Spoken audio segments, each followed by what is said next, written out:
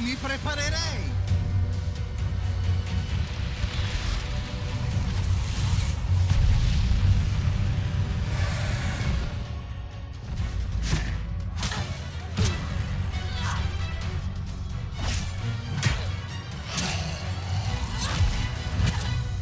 Beh, poteva anche andare peggio. Distraetelo.